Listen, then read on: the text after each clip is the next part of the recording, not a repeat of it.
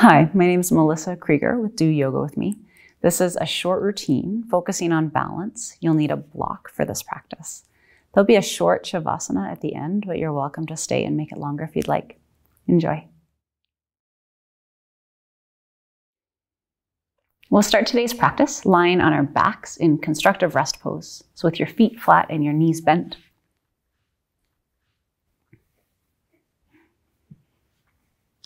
Can tuck in the chin a little bit so the back of the neck is long. You can rest your arms however they're comfortable. The knees could knock in towards each other if that feels comfortable for you. Start to settle in. Begin to pay attention to your breath.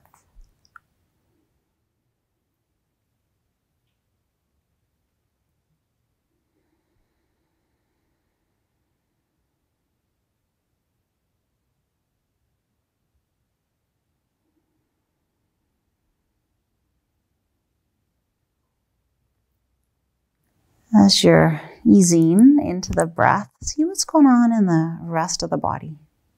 Find some softness around the forehead and the eyes, the jaw, your neck and your shoulders, your elbows. Relax your hands, your fingers, around your belly, your low back, your pelvis, your knees, your feet.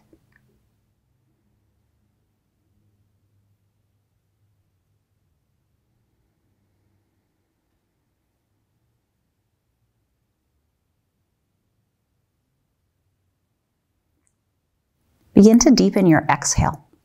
So starting to blow that exhale all the way out. It gets stronger and sharper.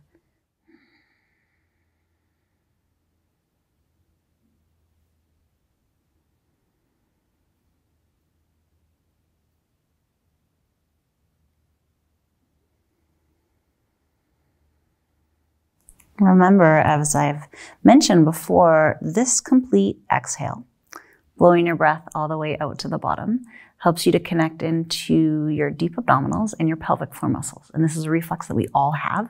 We really want to use it in our practices, particularly in a balance practice. Along with that extended exhale, see if you can pull up on your pelvic floor, the muscles at the base of the pelvis, and back at your low belly, so a couple inches below your belly button. So that means we're using the exhale to find all that strength and power. Exhaling all the way out, pulling back on the low belly, pulling up on your pelvic floor.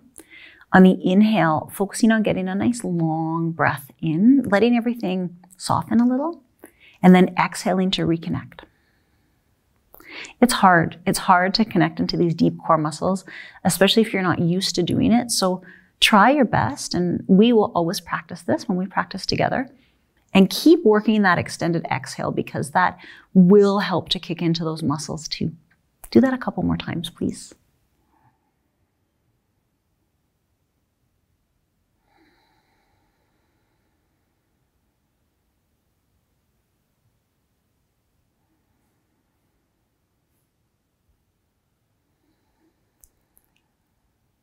Take a big stretch. Stretch out through your arms, stretch out through your legs. That might turn into a big yawn. Take a little lean over to one side. You can walk your torso, walk your legs, stretch out through your fingers and your toes.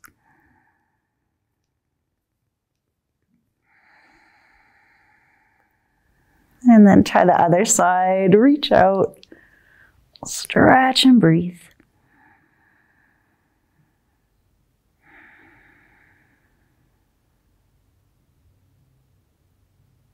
And come on back through to center. Take a big exhale, wake up your core, draw your knees in towards your chest. Hold on where you like. Stay still or move a little bit. Still working those big inhales and those extended exhales. And circle the knees a few times.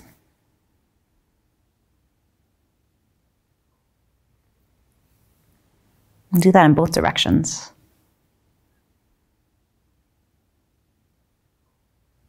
When we do balance work, I usually like to wake up the abdominals a little bit. So let's try some of that. Big exhale, wake up your core. Draw back on your low belly, pull up on your pelvic floor. Stretch your arms and your legs up towards the ceiling. Turn your palms in towards each other. The elbows and the knees can be a bit relaxed. There's already some work in the abdominals here. You don't have to do anything else. Or you could start to bring your brain into it a little bit more. This opposite arm, opposite leg, it's called a dead bug. Let one leg stretch a little forward. Let the opposite arm stretch back. That might be the inhale. Strong, sharp exhale, come back in. So you're alternating from side to side. You don't have to go very far with the legs. You might notice that I'm maybe going halfway down, maybe not even that far. My leg's not going anywhere near the floor. I'm thinking more about trying to keep my torso still and stable. There should be no pain in the low back. There will be a little bit of heat in your belly. There can feel like a little bit of work, but if it starts to become uncomfortable in your low back, please stop doing the exercise. Go for a couple more reps. I'm just trying to wake up the abdominals a bit, bring them into play. Keep trying to use that strong, sharp exhale. Keep drawing back at your low belly, pulling up at your pelvic floor. The next time your arms and legs are up, circle at your wrists and your ankles a little bit. They might be creaky, that's very normal. Bring your feet down to the mat. Take your feet as wide as the mat so the knees are bent. Bend your arms, grab your elbows, coming into a twist. Elbows go one way, knees go the other way. So even though we're focusing more on your balance today, we will still be moving all the different ways that you can. We're twisting, we'll be side stretching, uh, folding forward, extending backwards.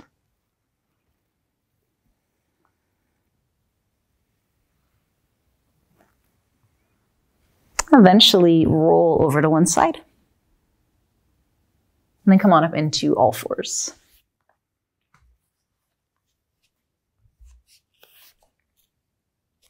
Wrists underneath the shoulders, fingers spread wide. Move into your cat cow curls. Belly can fall forward. Inhale, look a little forward. Exhale, drop your head, push your mid back up. Just finding the rhythm of your movement here, trying to link up your breath and your movement.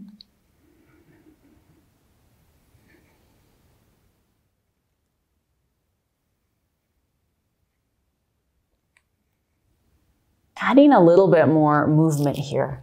Take an inhale. Exhale, push back towards child's pose. Your forehead might not touch the floor. Stretch the arms a little bit more forward. Inhale to pull up towards all fours. Exhale back to child's pose. Inhale up to all fours. This is enough. Or you could add a little bit more movement in your spine. So when you come up, you could arch your back, look a little forward. You could drop it around, push to child's pose. Up to all fours, arch, round and push back. This is still enough. You don't have to add anything else. You could add a little bit more movement through your hips, adding a circle. So you could come up and circle to the side and the front, and the side and the back. And you can play around with the knees, whether they're closer together or further apart. Just trying to move our spine in a few different ways. And then go the other way.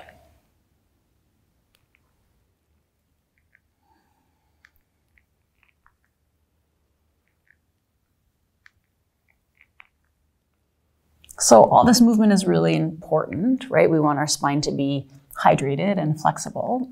We also need some stability and some strength. Pull back into all fours, have the wrists underneath the shoulders, fingers spread wide, knees underneath your hips. That same opposite arm, opposite leg movement from before will play with in a slightly different way. Stretch one leg back behind you and land on your toes. Stretch the other arm forward, land on your fingers. So sorry, this should be opposite arm and leg. It will feel tricky to balance, but easier than if you ended up on the same side. Looking down towards the ground, take a big exhale, suck back on the low belly, pull up on your pelvic floor, and then a few times lift that opposite arm and opposite leg. Much like that dead bug, trying to keep the torso quite still and squeezing your backside as you lift that leg. Go for one more. Bring that hand and that knee back in. Stretch your opposite leg behind you. Reach the other fingers forward, land on your fingers. This is enough, and this is a balance. And you could stay just like this. Or big exhale, wake up your core, and lift that opposite arm, opposite leg, please.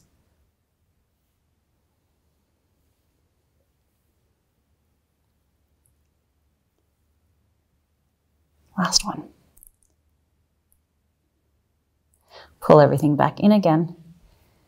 And then head back towards child's pose. So the big toes might come closer together, the knees go further apart. The forehead can come down to the mat or your hands. Take a few breaths and rest.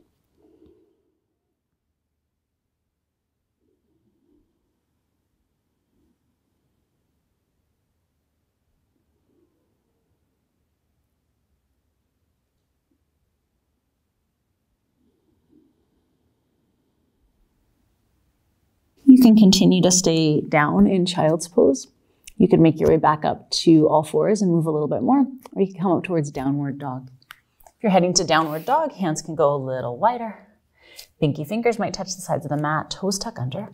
Lift up the knees, push the hips up and back. Remember, the heels don't need to touch the floor, the knees don't need to be straight.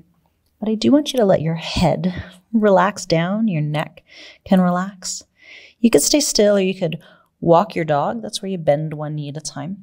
So the other heel pushes a little closer to the floor.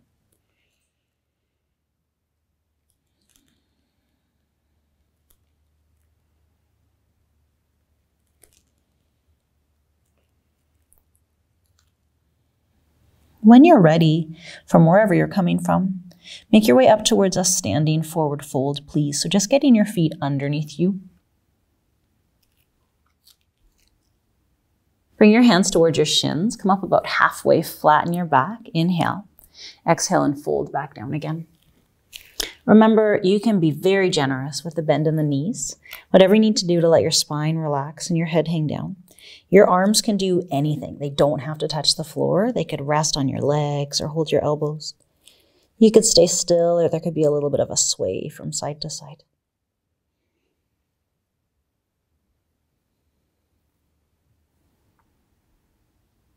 Bring your hands to your shins, come up halfway, flat back, inhale. Notice your legs extend and straighten here too.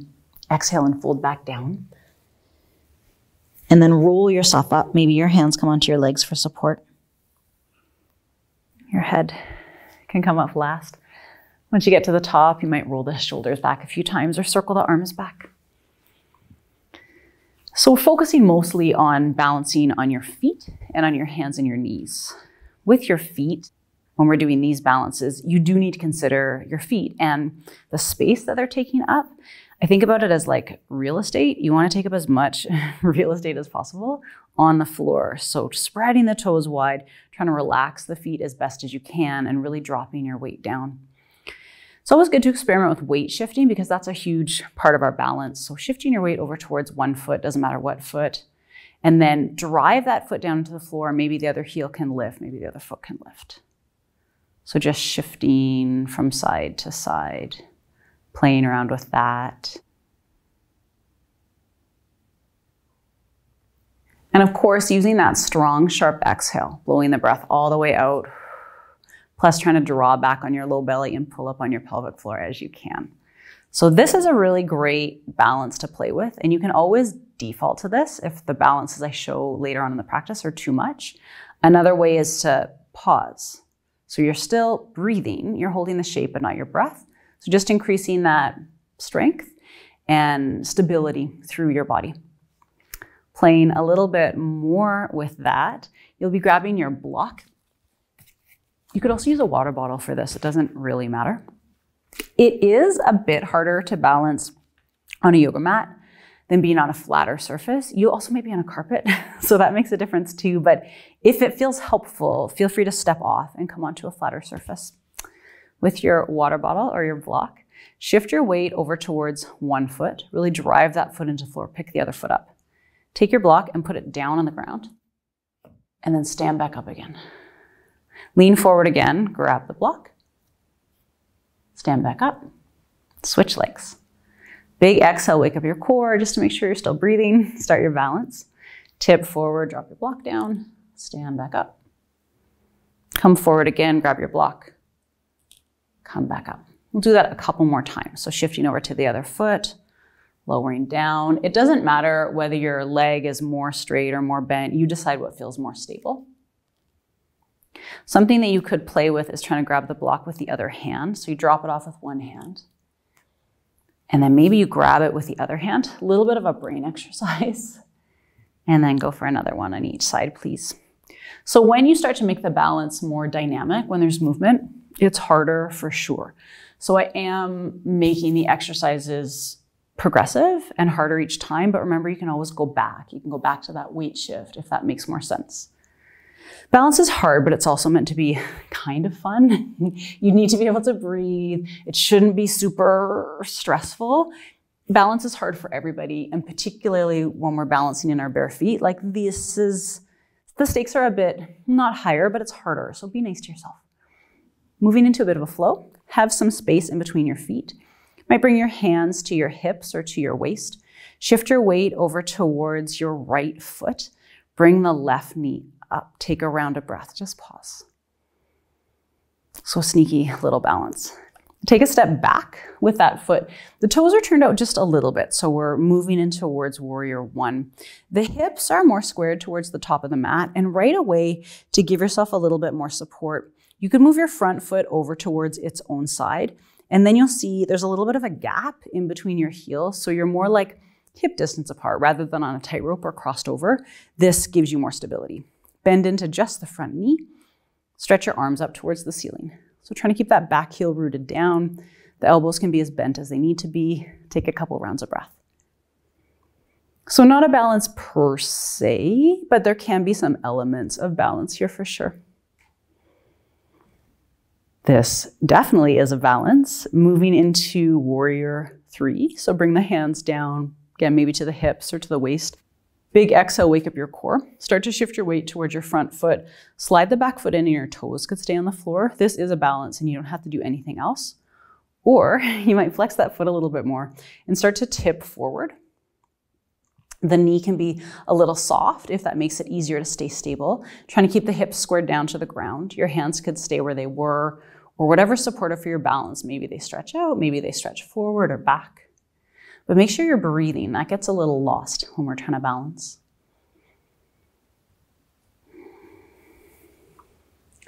Shifting back into that warrior one again. So placing that back foot down carefully with the toes turned out slightly.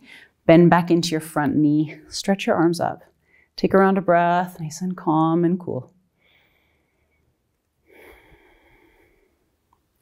Bring your hands down again. Sometimes it's just easier when your arms are a bit more contained, so maybe back down to your waist again. Shifting weight in towards your front foot.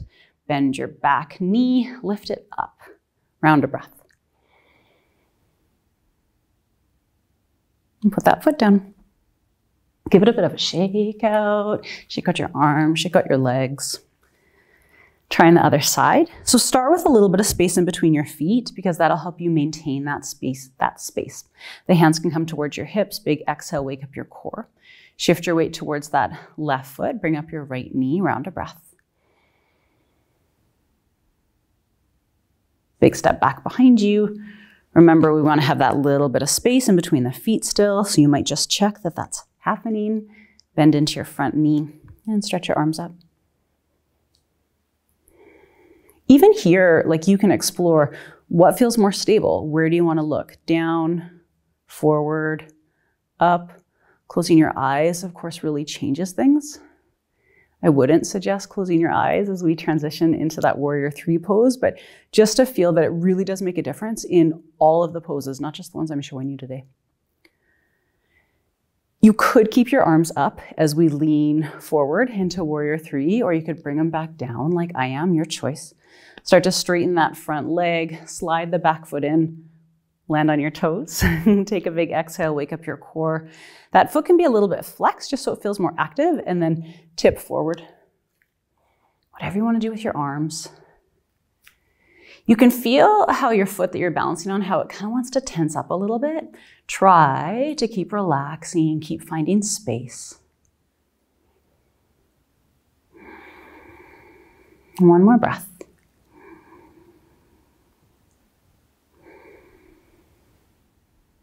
Step back into warrior one. Bend back into the front knee. Stretch your arms up. Breathe.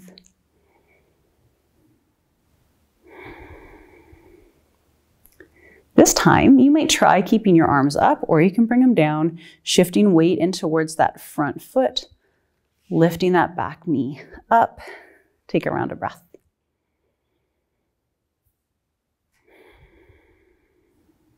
Bring everything down. Again, you might want to give it a little bit of a shake out. From the top of the mat, have a little bit of space in between your feet. Bring your hands to prayer position. Breathe in. Exhale, drop your hands. Inhale, reach up. Exhale, dive down. Come halfway up for a flat back.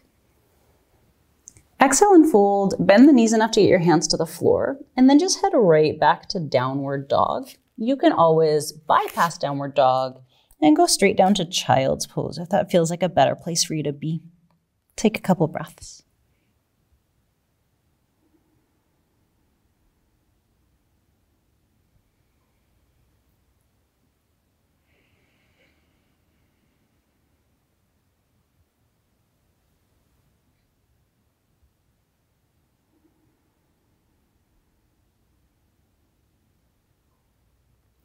Make your way towards all fours. And then come right into a comfortable seated position. If you've got something to sit on, you might use that. These balancing classes could be hours long. There's so many balances that I could choose from. I'm just choosing some of the more kind of basic balances that I think are important and seeing that those come up a lot in yoga practices, the the opposite arm and leg ones, the all fours one, and the standing ones seem to be a little bit more commonplace and easier to learn, and lots of little tips to help you get more comfortable balancing. And then there's a whole world that you can explore. Bring one hand down to the floor, lean a little bit over to the side, let the other arm stretch up and over. So considering that I still want your body to move all the different ways that it can, I want the practice to feel like a complete practice. So getting in here, a side stretch, then a twist, round a breath.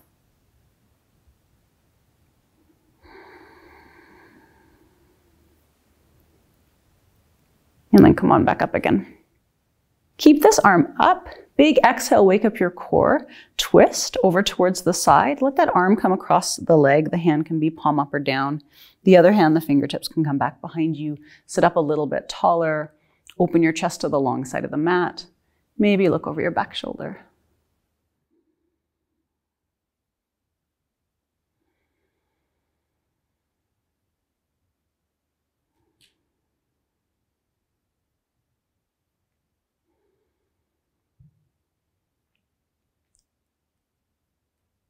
Release the twist. If you're in a comfortable position or it's symmetrical, you might stay where you are. If you're in a cross-legged position or something asymmetrical, you might switch sides. Inhale to stretch the other arm up. Exhale, take a lean over to the side. Of course, there's a whole world of arm balances, right? Which I generally don't teach because I don't practice them. But there's lots of other great teachers on the site that can show you lots of funky upside down arm poses. You can practice with Tracy, Krista, Fiji. They will get you moving in lots of wild ways. Take one more round of breath.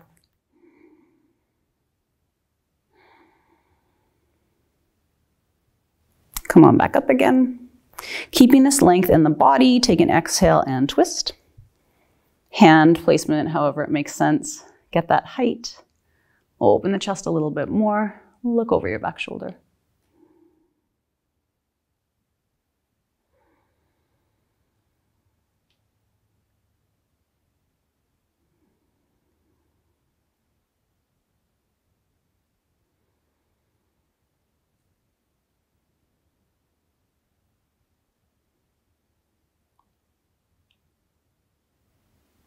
And then go ahead and untwist. Come off of that support if you've got some, and make your way onto your back.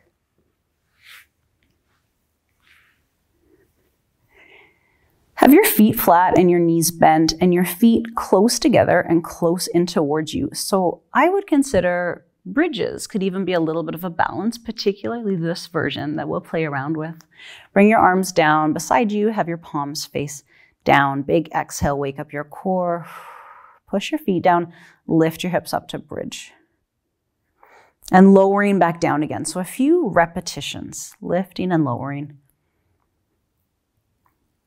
Feeling that connection with your feet pushing down into the ground, your toes pushing down into the ground. So you've got lots of stability. That theme kept on coming up. Whatever's pushing down into the ground really needs to push, really needs to be there to stabilize you. So even the back of my arms are working right now, along with my feet. The next time you're up, stay up. Shift your weight over towards one foot. It doesn't matter which foot. Maybe that other foot, maybe it can lift up. Maybe the heel can lift up Maybe the foot can hover. Can you do that and still keep the other hip stable? Lower back down again. Push the weight down into the floor. Wake up your backside. Big exhale, engage your core. What about the other leg? So much like some of the exercises, keep going here, shifting from side to side, that we played around with those supermans, those dead bugs.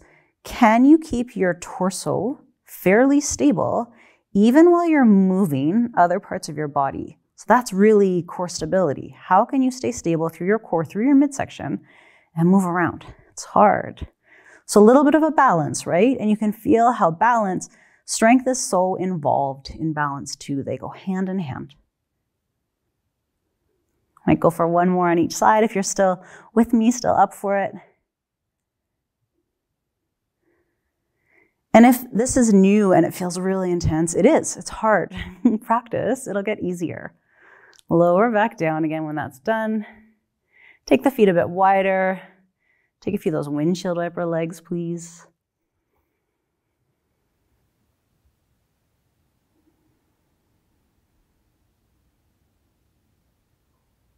Bring your legs back through to center. Walk a little closer together. Pick up one foot, cross your ankle over your thigh so your knees pushing away from you. So the basic stretch for your backside, it'll feel good after all these balances. The back foot can stay down or hop in a little bit closer. The leg could be up and hovering, or you could reach all the way through. Remember to keep the chin a little bit tucked in, shoulders relaxed.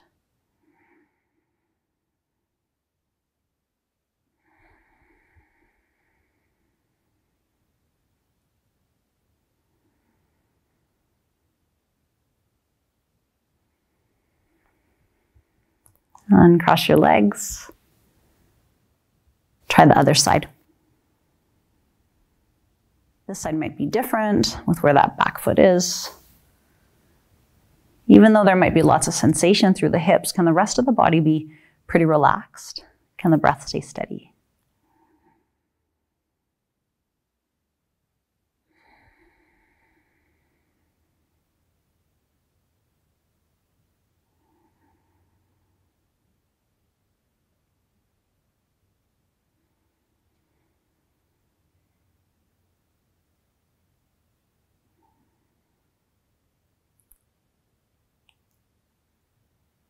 Bring that back foot down to the ground. Uncross your legs. Settling into Shavasana. Your legs can be bent or straight. can rest your arms however you like. Here you can let the core go, let the breath just do its normal thing. Take a little bit of time to relax.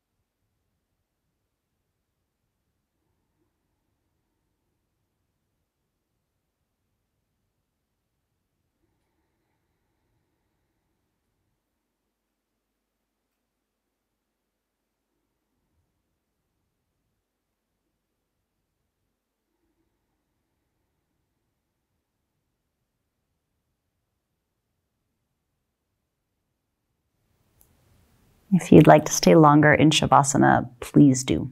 Just ignore me. If you're ready to start to move, you can wiggle your fingers and your toes. Might nod the head from side to side.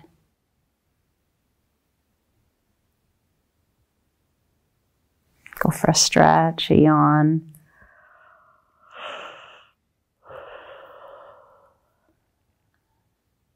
Bend your knees.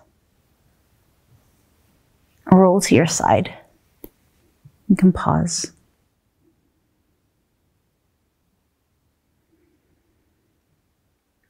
Come on up to a comfortable seated position.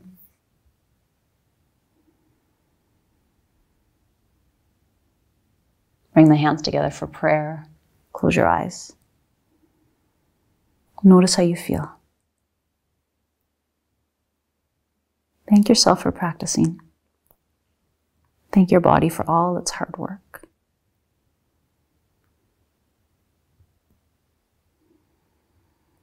Open your eyes. Lift your gaze. Thank you so much for joining me. Namaste.